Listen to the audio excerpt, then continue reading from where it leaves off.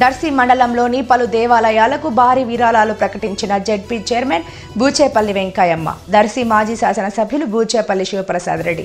దర్శి మండలంలోని తిమ్మాయిపాలెం గ్రామంలోని పోలేరమ్మ టెంపుల్ నిర్మాణానికి లక్ష రూపాయలు శామంతిపూడి గ్రామంలో చల్ల మల్లికార్జున స్వామి గుడికి ఒక లక్ష ఒక వెయ్యి నూట పదహారు విరాళం అలాగే అబ్బాయి పాలెం గ్రామంలో రామాలయం గుడి నిర్మాణానికి లక్ష రూపాయలు అందించిన జిల్లా పరిషత్ చైర్పర్సన్ బూచేపల్లి వెంకయ్యమ్మ దర్శి మాజీ శాసనసభ్యులు బూచేపల్లి శివప్రసాద్ రెడ్డి.